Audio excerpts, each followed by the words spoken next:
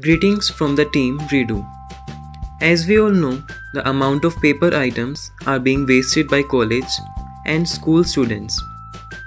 Every year, around 3 million tons of waste paper is recovered, which is only about 20% of the total.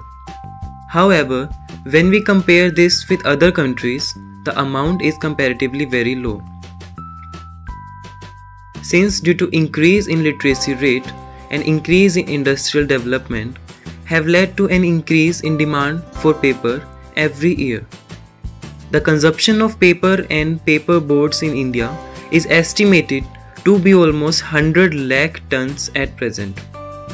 It has been estimated that the demand for paper in our country by 2025 would be close to 2.5 crore metric tons which is actually not a very easily achievable task to meet for the Indian paper industry.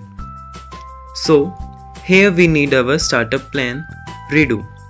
And the members are Lakshya Rohila, Vanshika Kapoor, and Shreya Gupta. We take the unused stationery items like sheets, notebooks, cardboard models, craft papers, etc., and convert them into handmade sheets. Now the question is, why will student buy our item? Of course, they have different options available, but when we take useless sheets from them, we give them coupons in return. With the help of these coupons, they'll be able to buy our products on a discounted price. Yay!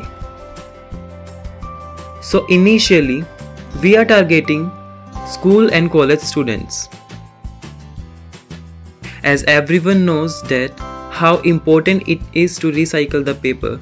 That's why students feel also interested to contribute to us. Now, what's the process?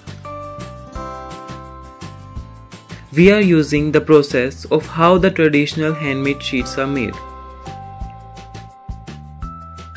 We are providing handmade sheets, sketchbooks, journals, notepad, gift paper, etc. Thank you.